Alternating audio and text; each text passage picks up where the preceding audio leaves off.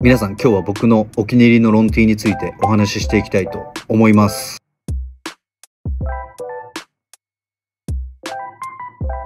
今日紹介するのはこのナイキのロンティーになります。90年代ぐらいのナイキのロンティーになるんですけど、腕にチェッカーの模様がついてて、ちょっとやれてる黄色のボディがいいなと思って気に入ってきてます。僕がロンティーを選ぶときにこうなってたら嬉しいなっていうところが一つだけあって、それがこのリブですね。このリブがね、あのリブが伸びきってるやつ。腕のとこのリブが伸びきってるやつがね、結構気に入ってきてます。手の甲が隠れる感じとかちょっとなんか、おしゃれに見えて、個人的にはね、なんか気に入ってます。僕が一番いいのは、リブがあって、それが伸びきって死んでるやつが一番好きです。はい、多分伝わるかな。リブがあっても、なんかこう、前着てた人がこう伸ばしまくってて、なんかこういうリブになっちゃってるやつがね、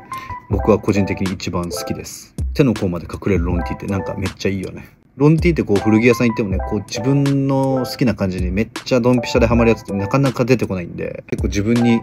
の好きな感じとかがね、出てきたらね、僕は惜しまず、あの、買うようにしてます。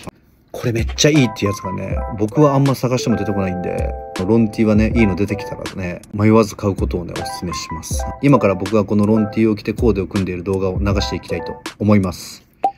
どうぞ。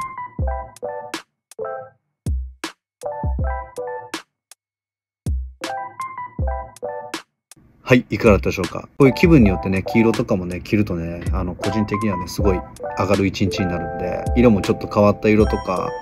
あの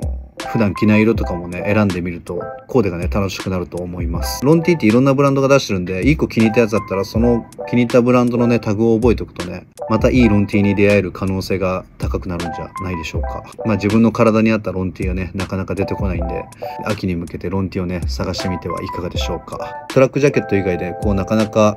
スポーツメーカーのあの古着を着ることはあんまないんですけど、これはね、ビビッと着て結構気に入ってきてます。皆さんも自分に合うロンティーを探してみてはいかがでしょうか。ご視聴ありがとうございました。バイバーイ。